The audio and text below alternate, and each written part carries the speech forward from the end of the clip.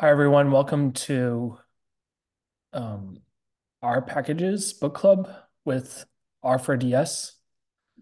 Uh, this week we are going over Chapter 7, Data in R Packages, and we have Kaija presenting the data chapter. Okay, hi everybody.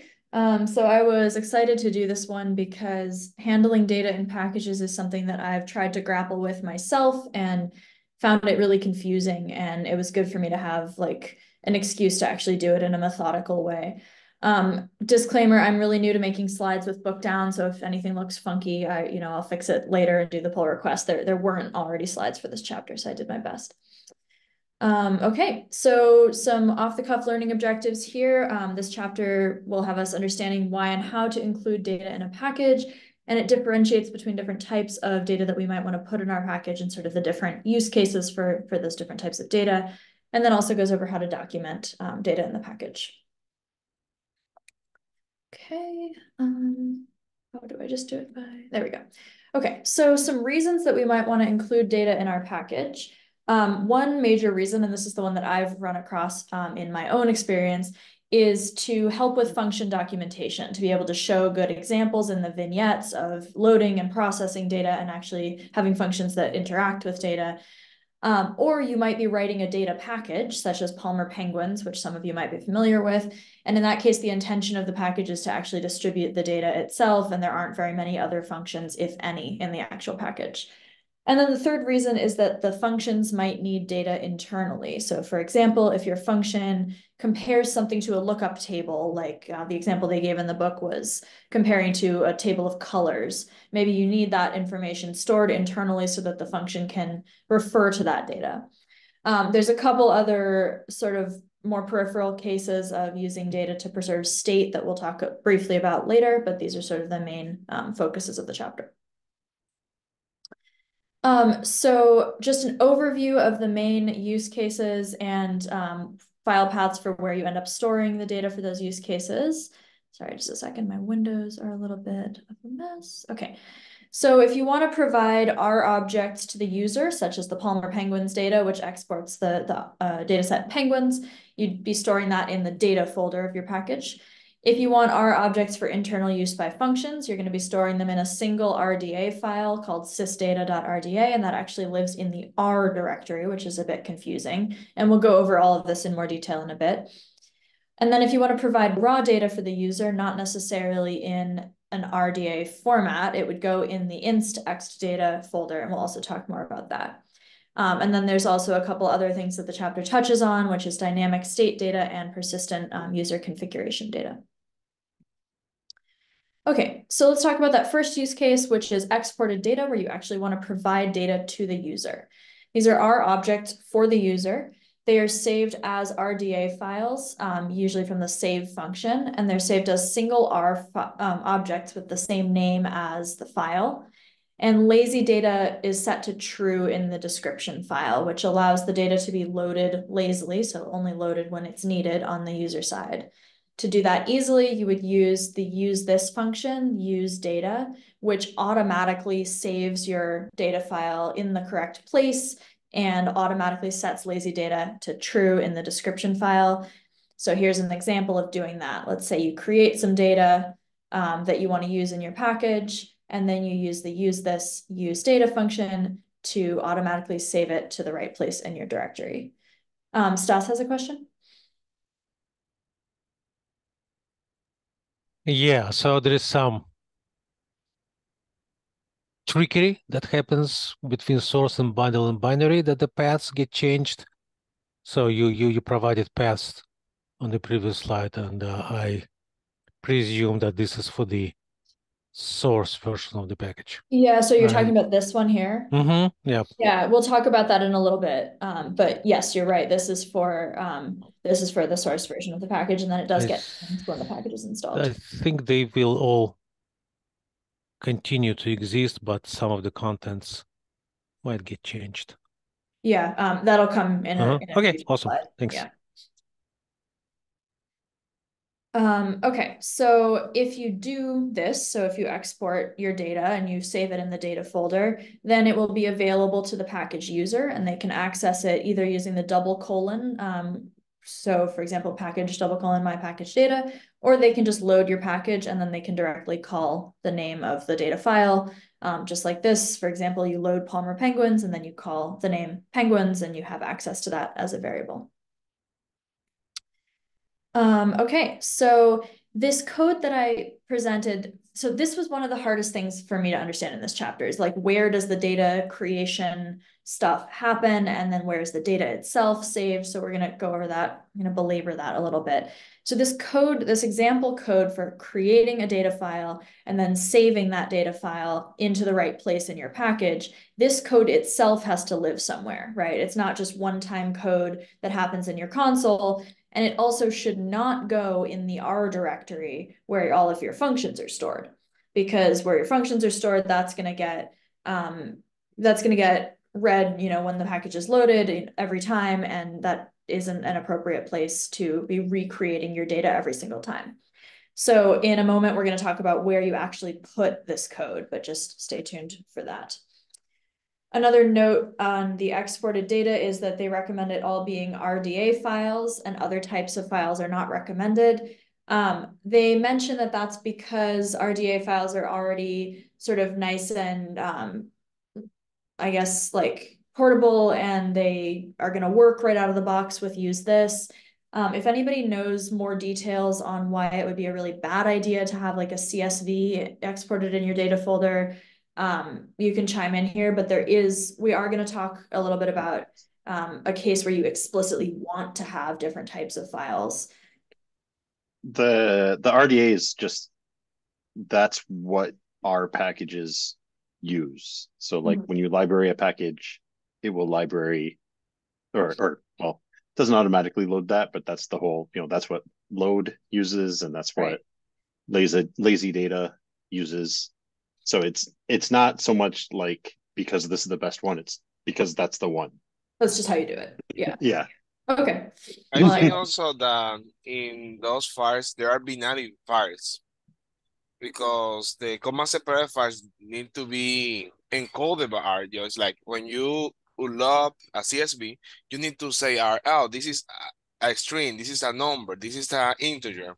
Mm-hmm. For a binary file, right. you don't need to that. So it's faster the, the importation process because right. all that metadata is linked in that client file. Right, that makes sense. Okay, thank you both. um, right, so about lazy loading, which is a concept that I also hadn't fully understood until this. So lazy loading basically just means that the data isn't actually loaded into R's memory until it is explicitly called for.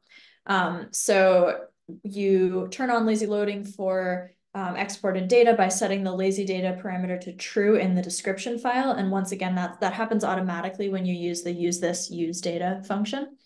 And they give this example in the chapter where they check the, the amount of memory used when they have when they're loading the NYC flights 13 package, which contains a data file that's exported to the user with flight data. And you see that the amount of memory used before and after loading the package is not very different. But then when you actually um, try to do something with this flights data object, now there's a lot more memory used because now that file is actually loaded into R's memory. But it's not loaded into R's memory as soon as the package is loaded with a library call.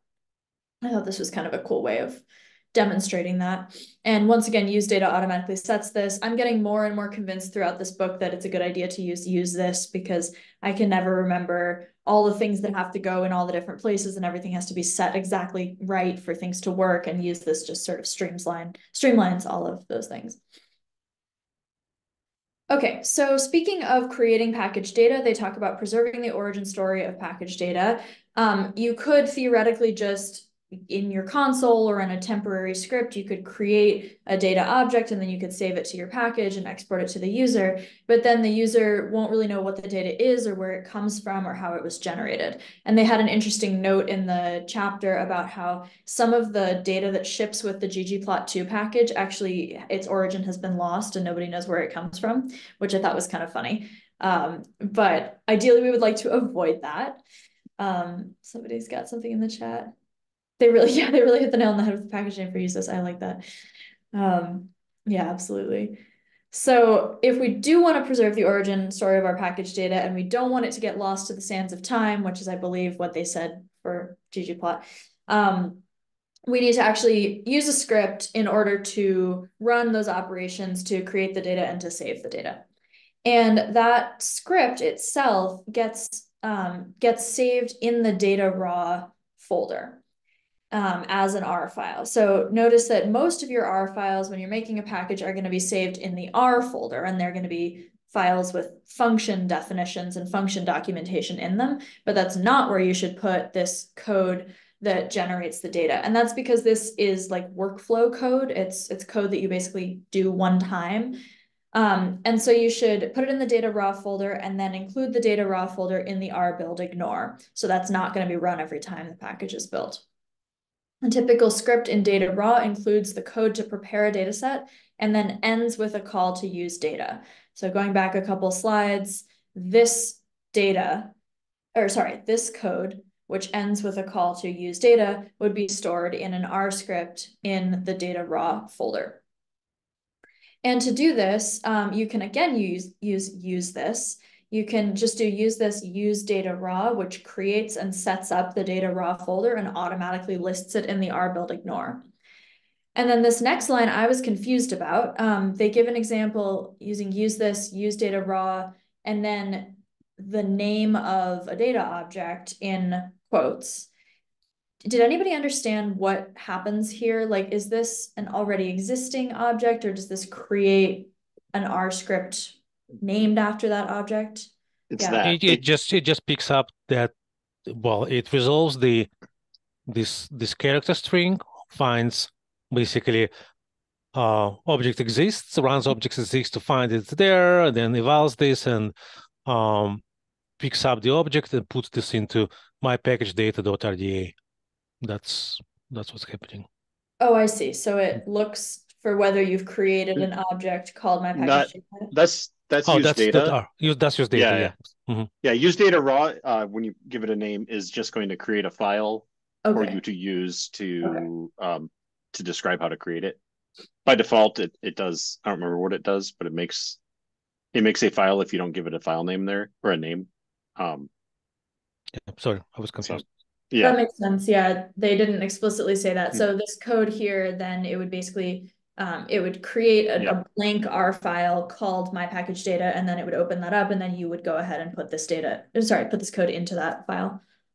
yes. Okay, cool. That, that is sort of what I thought it must be. Um. Let's see, I'm, I'm not gonna keep opening the chat. Can somebody let me know if there's something in the chat that needs me to pause because, uh, yeah, it's hard to keep opening it. Um, okay, so because we're exporting data sets to the user, um, just like when we export functions to the user, we need to document those data sets.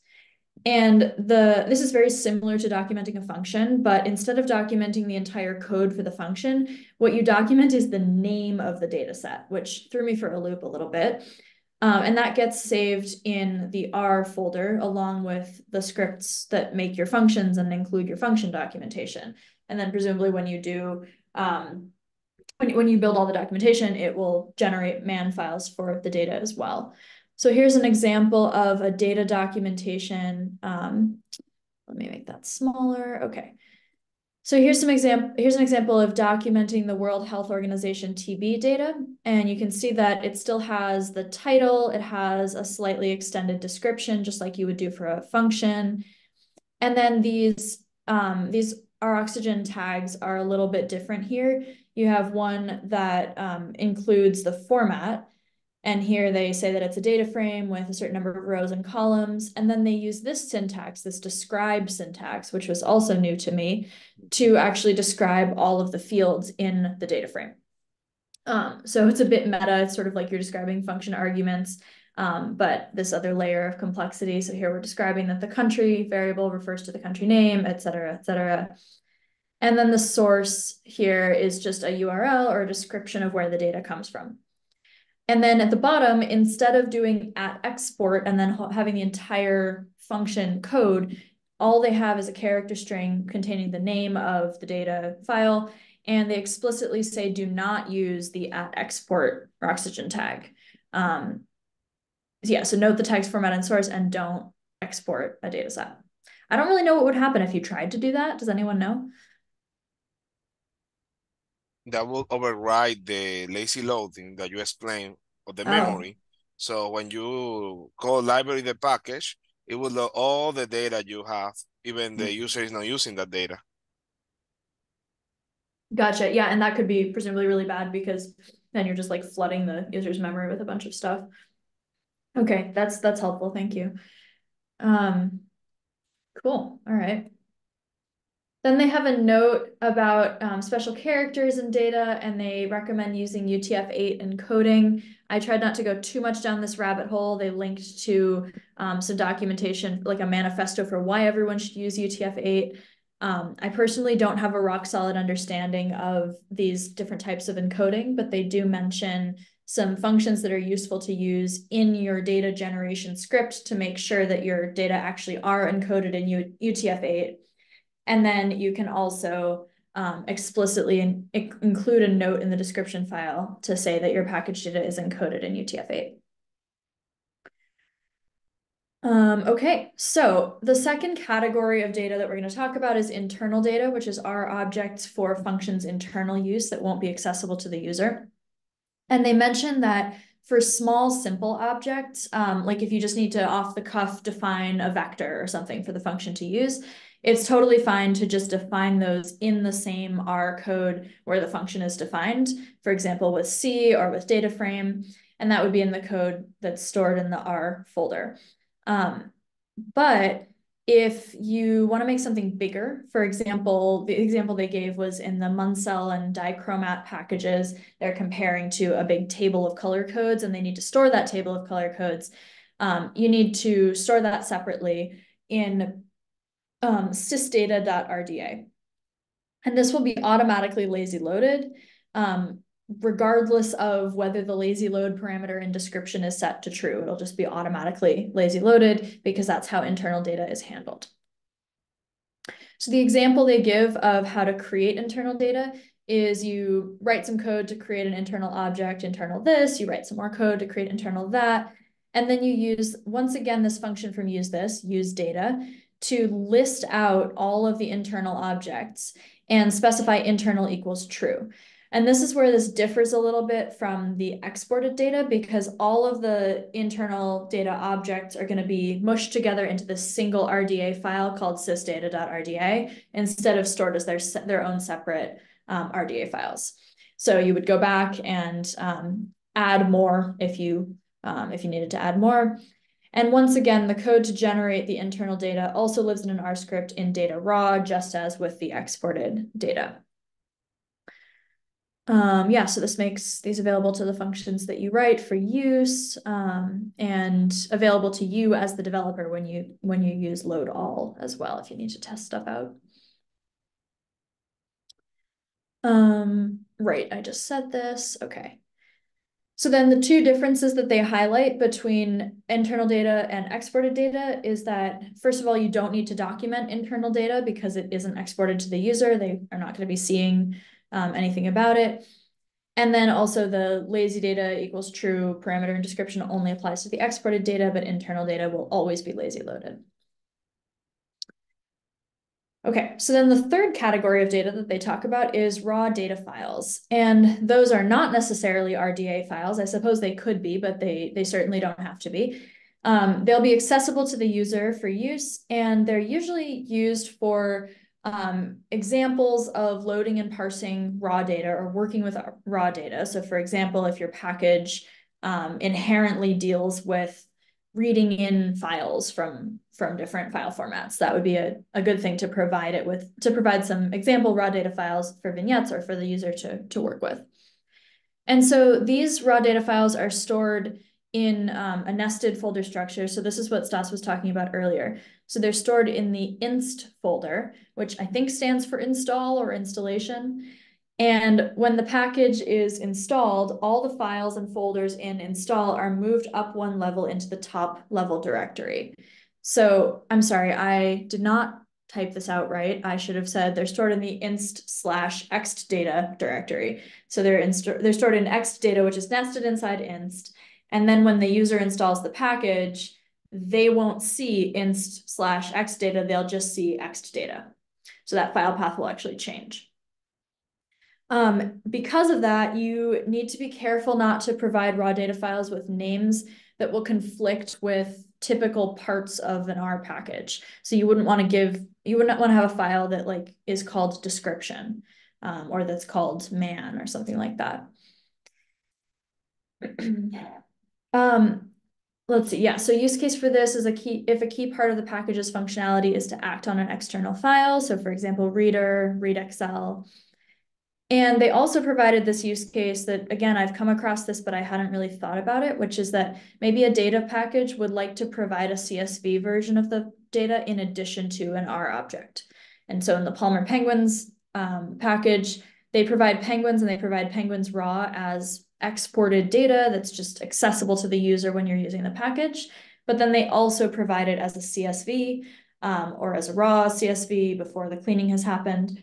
And I actually saw firsthand why this is useful when I was teaching a carpentries workshop recently, um, because we were teaching with the penguins data that users just pulled in from the data package. But then later in the lesson, we wanted to actually teach them how to read in a CSV file. And so then they were able to access um, those CSV files as well. Now, this part I got confused because, and I would appreciate if anybody could chime in if you were not confused. I understand what they're doing here, but I don't understand why they're doing it. So here they're talking about writing file paths, and they um, they give an example here of wanting to list out all the files that are provided with a package. They say that you can do this using system file. You can do this with FS um, path package. And the reason that they're using these um, these functions is because, as Stas was explaining earlier, the file path is going to change when the user installs the package. Um, and so this fi these files will not be stored in the same place from the developer's perspective as they will be from the user's perspective. Where I got confused is why do we need to list out these files? Like what's the use case for doing this file path stuff? Um, if you want to load them, you need to have the path to load them from. So that's okay. all that this is about. So it's um, just like if you wanted to see what there was and you wanted to see. Well, so they're doing list files just to show you the files, but if you wanted to actually load like clippy.xls, it'd be extdata slash clippy.xls in that system.file call. Okay. Um, yeah, so for so the that, does it does it respond dynamically to that? Well, figures out if this is in the source state or in the bundled state or uh, in the binary state, distributed these, state. These files are always like left as is, and so it's uh-huh. It's uh it, but yes it so is the path to get there. Oh right, so it it figures it, out okay. Out. It yeah. figures out the path to the package when you specify a package equals readxl, then it figures out, well, what's the leap path, blah, blah, blah, or is it the current package? And then it goes to the X date of that package. Right. You and that's that's the up. trick that that uh okay. tools load all does is it makes it makes it look at the local place instead of the actual installed one uh mm-hmm. while you're working on a package. Um yeah. similarly FS path package and there's also um remember if they ever talked about this. There's a package, um, like Raptor, I think is how you're supposed to pronounce it, or Raptors, but it's R Aptors. Oh, so, they did mention one additional one that I didn't reproduce here, but I don't remember if it was that yeah. one or not. Um, right. So, for instance, I, yeah. I I dropped an example of what we have. Um, yeah. For instance, we we have uh, R Markdown templates for reports, and this could go to X data, and mm-hmm. then you can you can you can if we, we provide the functionality of running those reports, we could say, well, I'll pick this up from whatever the current location is. I don't know where it's going to be on the Mhm. user Yeah. end, and I can do this with system file. That's really helpful. Thank you. Um, I, I think I needed sort of a tangible example of, of using this and now, now that makes sense. Um, so I, because I was confused about all the different places to put things, I made a table. Um, this table, it, so caveat, caveat, it's not totally complete. Also, I might have gotten stuff wrong, so correct me, but I think it's a useful addition. So we've got our exported data, our internal data, and our raw data. And to summarize, you know, what is this? What is the use case for it? Where do we put it? Um, what's the file format? How do we make and store it? And then where does that making and storing happen? Which I think in all cases is in the data raw folder. They didn't actually specify for this raw data. They didn't specify a lot of these things. For example, um, I assume the raw data does not get lazy loaded because by definition, it's kind of not in an RDA format and it's something that you would manually load. So I think that's a no. Um, and then it also doesn't get documented. They didn't say anything about documenting external files. Does anyone know about that? I mean, it doesn't. Yeah, it doesn't formally. Usually, you end up documenting it wherever, like, whatever it's there for.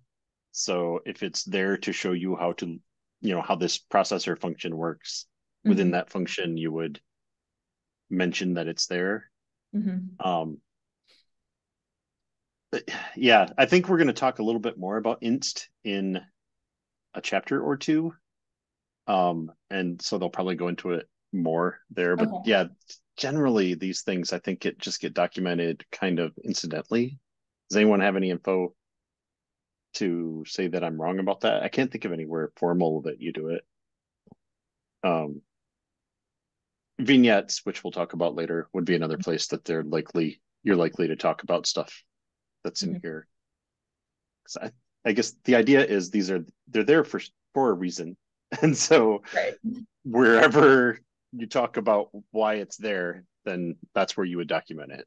Yeah. Yeah, that's pretty much what I figured. Um, It's like the, for this files, you are not trying to share the data. Check, your point is not to share the data, is to use as example for an in- interface. mhm, For example, we have that folder in the tidy SL package. I've used wire, um, you know, wire uh, Excel files. They have some examples and they provide those examples inside the package. So you don't need to go to any GitHub repo to download. You just, they just have a function and they have the vintage. Using that example, you just need you just, you just can copy and the code it will run because the data and the Excel file that you need to run the sample is already with the package. Yeah, that makes total sense. So that also supports the idea of things being sort of incidentally documented as they're used. Um, okay, cool. So I'll, I can update and expand this before, um, before formally integrating it into the slides. Um, I don't know. I don't know if this table is useful for other people. I found it useful, um, because I got a little confused about the, where, where do you put all the things and when, but, um, I I get it now. So I will say on the other piece of like um, where to make it, Yeah, you could in data raw like explain where that came from, but a lot of times it's just gonna, you know, it'll be a sample.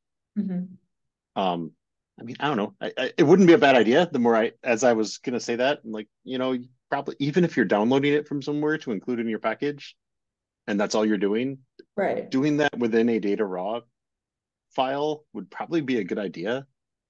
Um, I'm sure that I have screwed that up before and, you know, done the ggplot2 thing of, Mhm. oh, I have no idea where this came from. Um, so like data raw is really, it, it isn't a formal thing. It's just an Mhm. ignored directory. Right. So you could really do anything in there that you want. Um, and so Yeah. Which that was another thing that came up for me when I was reading because they were talking about creating stuff, um, creating, for example, cleaned up data to be exported to the user. And presumably like you're getting that from somewhere, like you're you've got some raw, raw, raw data that you're then gonna process. And they didn't specify where that lives. Presumably it also lives in data raw. But so I think they sort of said without saying it that data raw is kind of an anything goes. You can have data, you can have scripts that just kind of live there. Um, you do what you need to do. It's there if it needs to be accessed, and then um, you take the necessary steps to put the finished products where they need to go. Yes, and it, it only data raw only exists during like development of the package. It doesn't like it's not on CRAN. Uh-huh. Um, and so you can do really whatever. It's just it's stuff for you or anyone you're collaborating with Gotcha. to have access to in order to recreate it. Um, and I've I've done some cases like I have packages that I'm generating things using scripts, and so I made R raw, which is Hmm. equivalent to data raw of I'm generating R code using files in here. Um, and you can just do that same thing. You know, you just create it, put it in R build ignore, and then it's as if it doesn't exist. Um, so, uh, but yeah, I think it would be a good idea to formally put anything, um, put things in a raw folder somewhere. anything that you're, any code you're using to generate your package. So we're going to talk about other things in inst. Well, I guess you could also self-document in some cases. Like if it if it's a file format that has comments in it, you could put comments in that code of where you downloaded it from or Mhm. that kind of thing. Mhm. That'd be the only other option, I think. Yeah, and your mention of R raw um, reminded me of another point that I wanted to bring up. I think part of the reason that I found this chapter confusing or that I've found dealing with data to be confusing is that it's not always intuitive where you put stuff. And part of that is the naming because you've got this data raw folder, which implies that that's where you put the raw data. But in fact, that's where you put both the raw data and the scripts to process the data, which is not at all intuitive to me. You would think that would go under the, the R folder.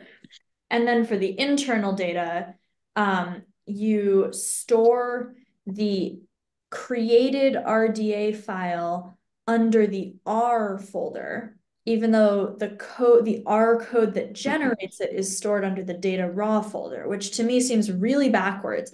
And if you think about it really hard and you sort of read through the chapter and you think about why everything is where it is, it does start to make sense. But just from a sort of surface level, like you're trying to memorize where things go, it does not, it's not intuitive at all. Um, which is why I wanted to make this table because I needed a side by side comparison. Um, and then naming is hard. Well, I, I think a partial, at least a partial answer to that is that figure 3.1 on Yeah, source bundle and binary. I'm, I'm staring at it right now. Um, get it up for a second. Three point one. Where is it? Um, It's pretty it's laid in the three three chapter. one, three three one. oh, th- oh, three, three, one. Got it. Yeah. Here it is. Yes. Mhm, Yep. Okay. Yeah. Basically, it shows. Well, data is a system folder for R, R Yeah. packages. So stuff is going to be processed within that folder.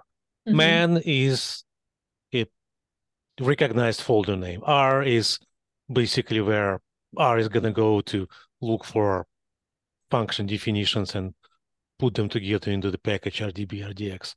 Mhm. Um, SRC, that's where C code lives, blah, blah, blah, tests, inst, vignettes, those Mhm. are recognized names. Uh, Right. My understanding is that basically anything else, anything goes, Mhm. and it's just not gonna be accessed by build at the Mhm. build time. Right. Uh, So it's not gonna be incorporated into the package. It's gonna produce uh warnings with, with DevTools check. It's gonna say, well, you have this folder that's not a part of an installation. I don't know what to do with it. Let me know what blah blah blah. I'm, I'm freaking out.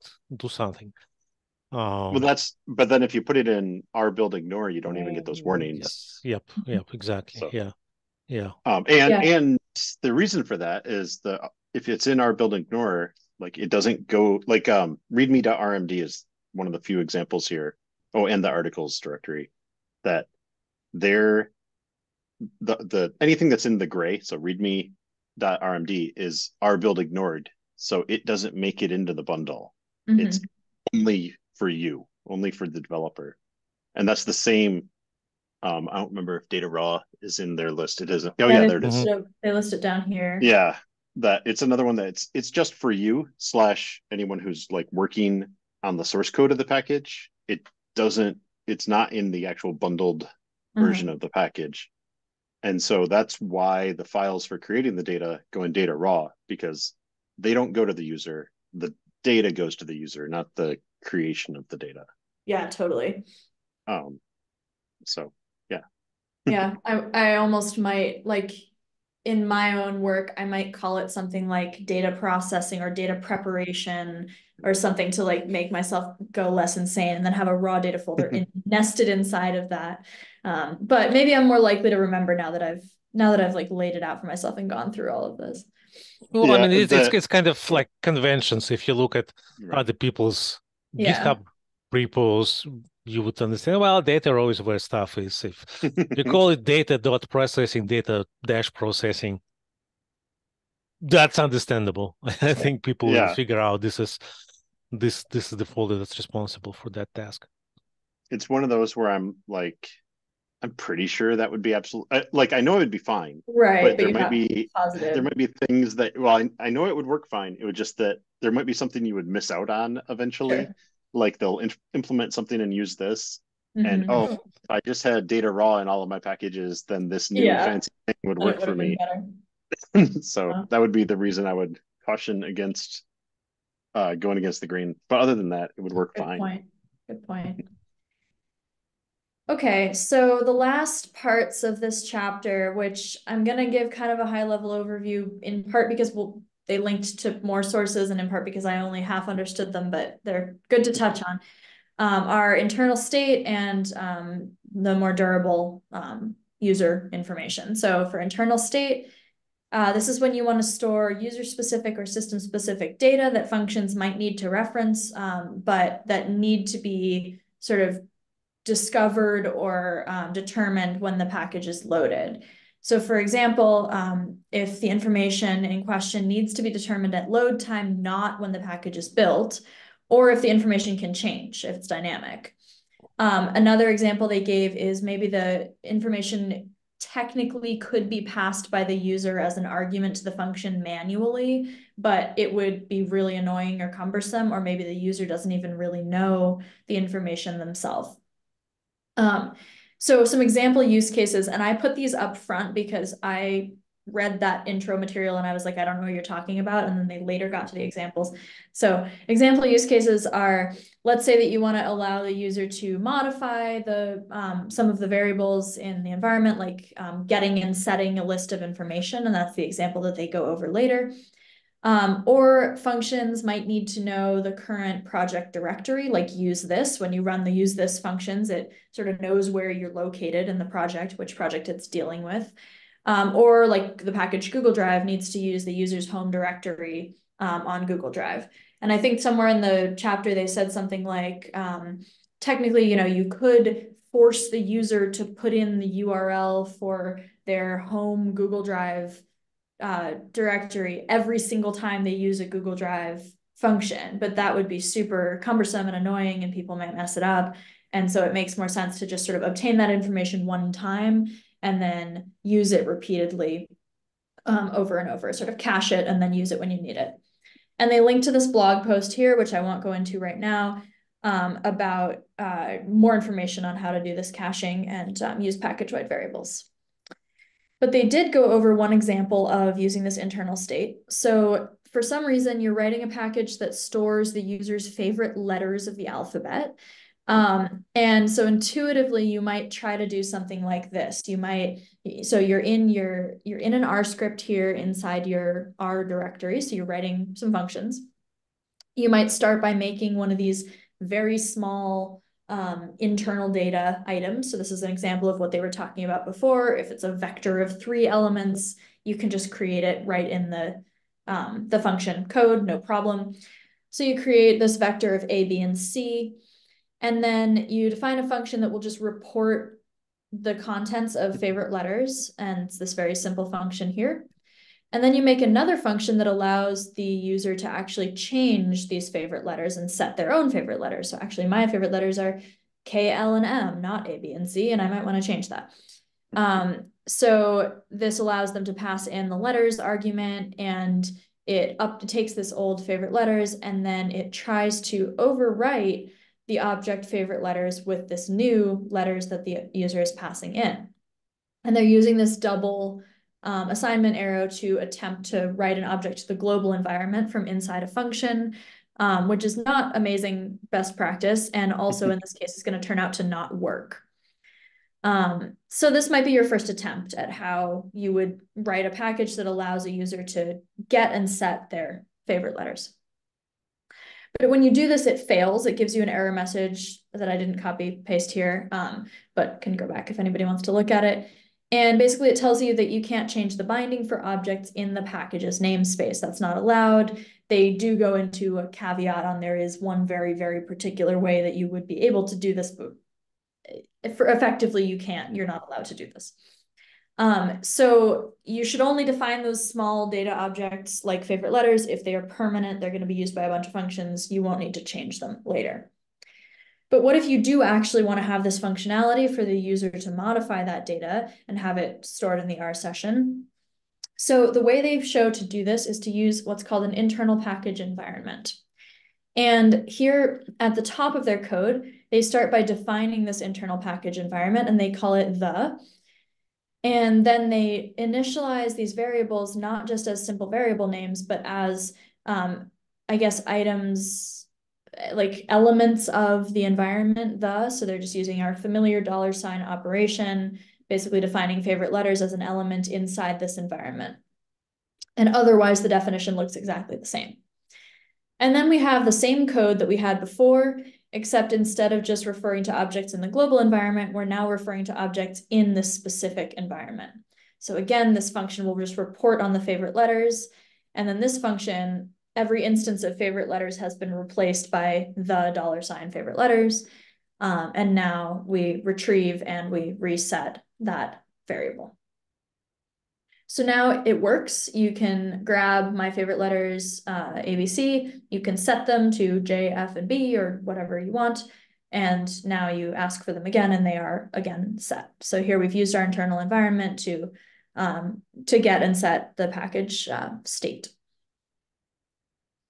So some notes on this is that the environment only persists for the current R session. It's not gonna, if you reload the package, right, reloading the package will rerun all of this code, including the definition of the environment as an empty environment. So it will erase the prior, prior knowledge that we have. Um, they made a note that they, the reason they use the as the environment name is so that you can read your code kind of like English. So you can say like the favorite letters, um, the object, the object, whatever, um, which I thought was kind of interesting because I definitely was confused as to why they were doing it that way. And they talk about when to define the environment. So in this example, the environment is just defined at the top of the script where it's going to be used. And that's totally fine if you're going to use it in just like one of your functions, or you're only going to use it in a certain family of functions, and that family of functions is all defined in the same R script. Um, but if you're going to need to use this in many different functions that are scattered throughout the package, or if you need to use it sort of from the beginning um, of loading the package, you should define it in a separate script they give the example of AAA.R, so you can make sure that that function is defined basically before anything else gets defined. Um, so that's, I feel like probably most of the time that would be self-explanatory, but it totally could trip you up if you were gonna like try to use your environment in different places. And then they do a little bit of talking about persistent user data. So if you want the data to persist, not just within an R session, but actually across different R sessions and not be reinitialized every time the package is loaded. If you want to do that, inherently, you're going to have to store data on the user's disk. And then the big question is, where do you put the file? And I linked to the standards that they linked to for storing data to the user's disk. And it sounds like the answer is pretty much don't. Um, mm-hmm. it's not polite, it's not recommended, it could overwrite stuff, it's just a bad idea. If you absolutely must, um, these are, this is a quote from the CRAN guidelines. basically you're allowed to store user-specific data, configuration, and cache files in the user directories obtained in this specific way using the R_user_dir function. And if you're going to do that, you have to commit to actively managing those files and removing anything that's outdated.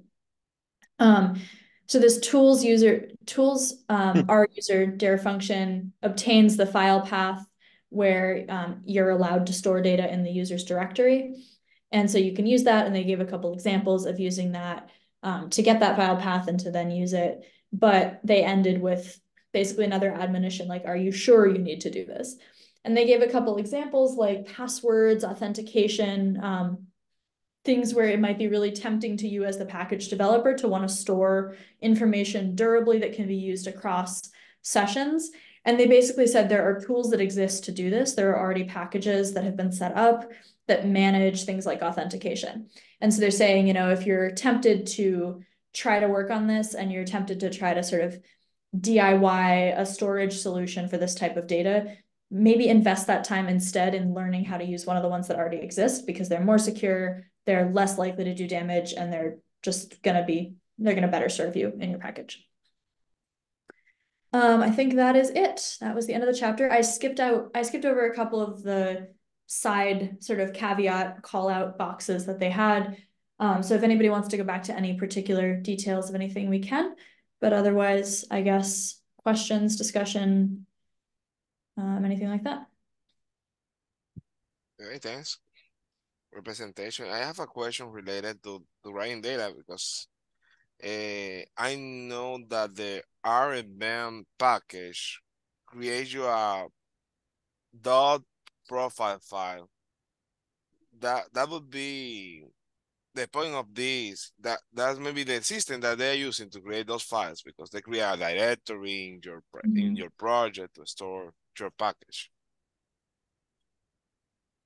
Which package are you talking about? Did you say? R E M V. Oh, yeah, that's right. Um, so yeah, maybe they are using this internally to get the path for the user's directory so they know where to put that file. Does anyone know more details about that? Well, renv uses a lot of black magic, right? So uh, it, well, the logic for the current directory, I think, is similar to the library here. They figure out, well, this this is the current folder, and this is uh, where we could go to. But there's also uh, a variety of renv system variables like renv sandbox, renv cache, um, and some other stuff.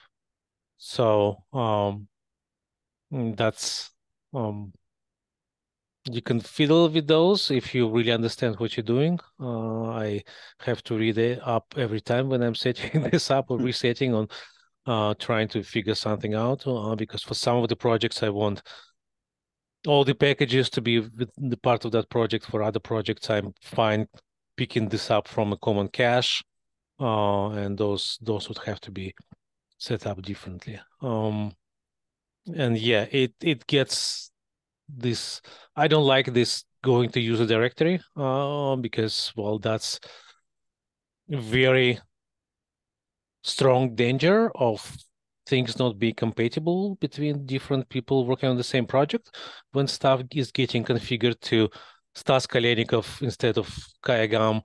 Uh, and we end up with different versions of packages, which is exactly the problem that renv is trying to solve. So to the extent possible, I try to slap renv's wrists from going into my user directories, but that's not always possible. Sometimes it goes to Stas Kolenikov sandbox, and I'm like, God, I still I need to go back and figure out where to to reconfigure that option. Yeah, and go, going for our profile, well, our profile that renv goes to is specific to the current project, and um, it's not such a great deal to figure that out with those uh, um, getwd and here and whatnot. And that's how it finds it, if that's the question.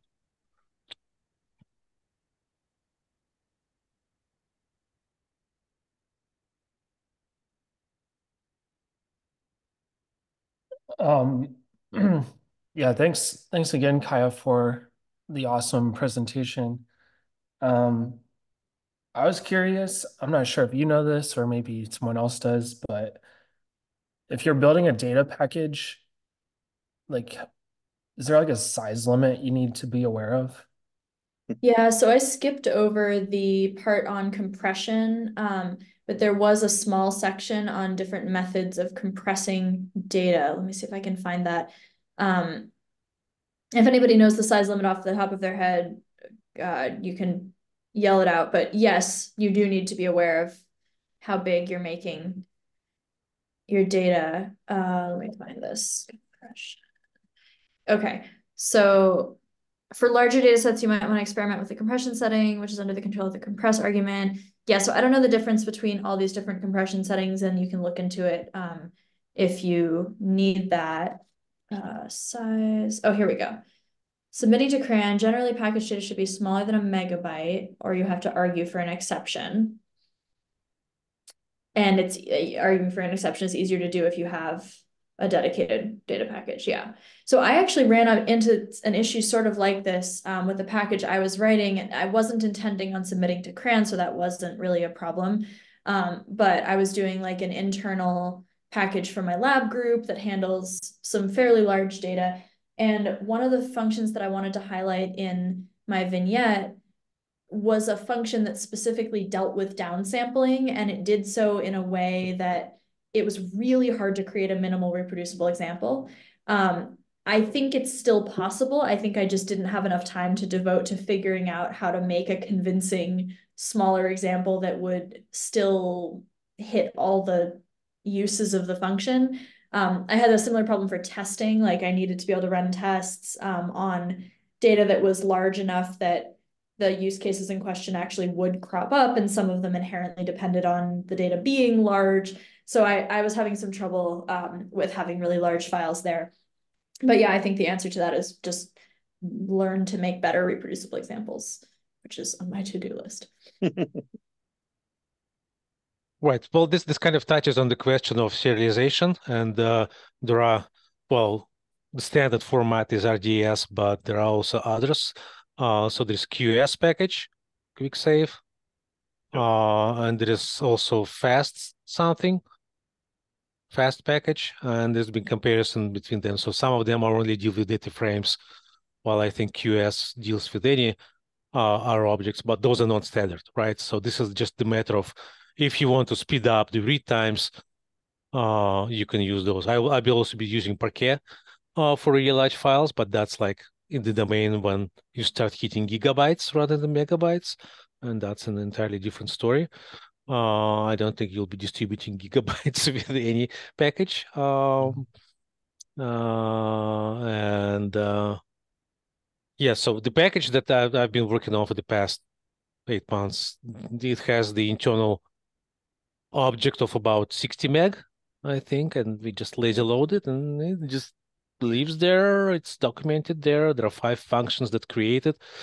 Um, we went through this chapter up and down and diagonally and diagonally back and every possible crisscrossing that directions to figuring out what to do. First we exported it, and figured out this is a bad idea, this is why, and uh, um, yeah, Get all of that. Thanks. That's both of those are that's helpful information. Um, yeah, I'm also um, in the planning stage of creating a package and trying to figure out what makes most sense for a data package, or if a data package even makes sense for my what I'm trying to create. Yeah, I think that's an interesting question because I've heard people talking about data packages more and more, um, and like recommending data packages more and more as a way of distributing data. Um, but of course, much, a lot of data is huge. So that's, uh, but I guess then you have multiple files. And so anyway. Yeah, and I guess it doesn't say, when it says package data should be smaller than a megabyte, do they mean all of the data or do they mean each individual file? I assume they mean all of the data together. All of the data. Yeah. Yeah, Really does limit you. I think Yeah. I think technically it can be four megs. That that number's in my head for some reason. Um, but Yeah. maybe it's one. I don't know. Um, but yeah, it's not it's not very big. Uh, if you split it off into a data package, that'll buy you some space on and CRAN will still accept it, but you know, not infinite. Mm. and so then, you know, the next level up is you have to have somewhere external that it's saved and then have the user download it. Um, which I actually Right. So yeah, so thing. Yeah. One of the Um, package data stories that I can share is that uh, our my organization work collects the general social survey, uh, and there's a package called GSSR developed by Kieran Healy. Uh, you may have heard the name if you're on Mhm. what was known as X. Uh, uh, now he's on Mastodon, I think. Anyway, so he and he deals with GSNs since 1960s, and that's a data file of about 200 megabytes. So that package only exists on uh, on GitHub. It cannot go on, on CRAN because it's just a huge file, and uh, he just holds the microdata and uh, just reads that state data file.dta with Haven and works with it. Uh, one in, internal initiative that we've had was to provide an API uh, so that tabulations out of the data set could be um, generated very easily. And we all got excited about that so that package GSSR could go on CRAN because, well, its functions are what? I don't know, 50K of code. Uh, this is kind of that's nothing to talk about. But um, API, Plumber APIs is another way of dealing with with um, access issues to large files. If that's something that you can internalize, um, that's that may be another way of um, dealing with your data size issues. I think so. Rebecca just uh, posted um, the actual policies, and it's the tarballs can be up to 10 megabytes now. It looks like I'm pretty sure that is an update, so that's interesting. Um, but yeah, 10 megabytes is very small. Hmm. Um, so uh, I posted that at my old job. We we made a package for like there were a few different packages both that we wrote and that other people had written that basically had all this code around downloading something if the user doesn't already have it otherwise using the copy that they already have and so we made that package that is basically just that it's just um, functions to download potentially process and then cache a file um, so if you were like this was specifically around working with um, like large language models and that kind of thing uh it's just a way to download and cache things. Um because that's you know it's a thing that uh you're you know we work with data. So sometimes you have giant data that you want to work with. Um so uh it is interesting to me that it isn't really solved still um kind of on both sides because storing the data like you technically you can store almost anything on github but you're like skirting policies sometimes when you do that and so i'm always afraid that the data is going to disappear someday when they decide to actually enforce uh, data size policies. So maybe you put it on like you can get some free storage on amazon or you can get there's um so like data.world has some levels of free storage. But Hmm. storing large things that you're trying to provide to people is tricky. Um so yeah you know github you can. I think that's probably the kind of accepted way. You you have to do it as a release in the in your repo Well, for academic purposes, there is this concept of dataverses, and there are all sorts of repos. yeah Uh, so I know that the biomedical world in the US has its own concept of general purpose repositories, which is something quite different from what, I think of. But Dataverse, I think, is originated at Harvard, Harvard, okay uh, and that's the social sciencey uh, kind of thing. Uh, so it's There is between um, political science and economics, most of those, and some sociology.